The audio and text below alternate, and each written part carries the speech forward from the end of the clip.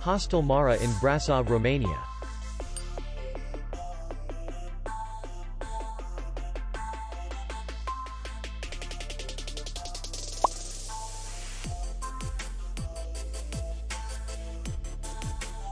The hotel is in the city center.